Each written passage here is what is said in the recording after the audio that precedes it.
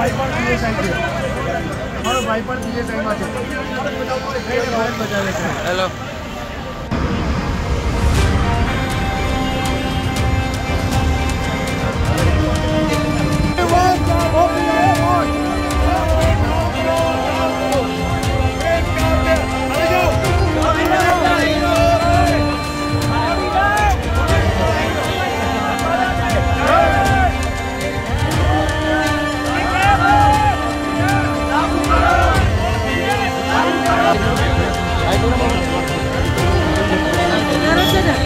પોલીસે પેલી ચૂંટી પકડ્યા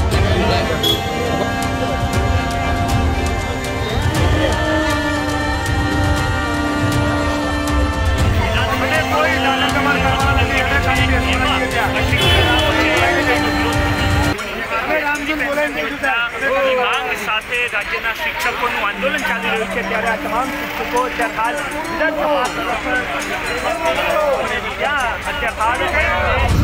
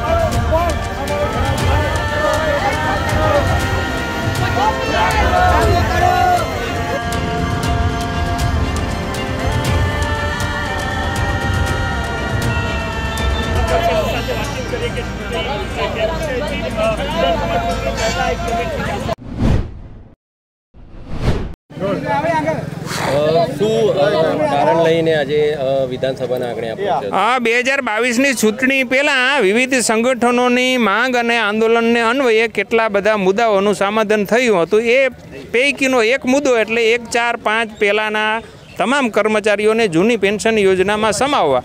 એ ઠરાવ આજ દિન સુધી થયો નથી એટલે શિક્ષકોએ વિધાનસભા ઘેરાવ કર્યો છે અને બધા જ જે કર્મચારીઓ છે એ ગાંધીનગર છોડવાના નથી. ભલે અત્યારે વિખેરાયેલા હોય, વારંવાર અમે પ્રયત્ન કરશું ને સતત ત્રણ દિવસ સુધી પ્રયત્ન કરશું.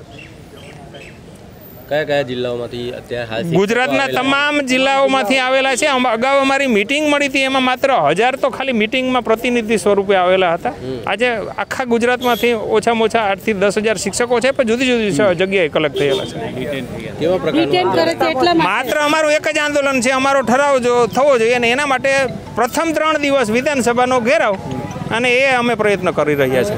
નહીં થાય તો આગામી પગલું શું રહેશે? નહીં થાય તો અમે એના પછીના દિવસોમાં અમે નક્કી કરીને એક જ જગ્યાએ છાવણીમાં ધરણા ઉપર બેસવાનો અનિશ્ચિત કાળ માટે સત્યાગ્રહ છાવણી જ્યારે આપણે કાર્યક્રમ કર્યો હતો ત્યારે પણ આપ કંઈક નક્કી કરવાના હતા પગલાં લેવાના હતા? શું પગલાં સત્યાગ્રહ છાવણીમાં જે તે સંગઠનોએ આપેલું છે સંગઠનોએ વારંવાર કાર્યક્રમો આપવાથી શિક્ષકો હવે કંટાળેલા છે. એટલે આ શિક્ષકોનું સ્વયંભૂ આંદોલન છે. આમાં કોઈ સંગઠન કોઈ સંગઠન. અને કે અમે વારંવાર અમારે એક કોઈ મુદ્દા નિરાકરણ જોઈએ. સંગઠનના હેદા તો હોદ્દેદાર તો મીટિંગ કરીને, મસલત કરીને જતા રહીએ છે કોઈ ફાઇનલ કમિટમેન્ટ નથી. અમારે ફાઇનલ કમિટમેન્ટ જોઈએ છે.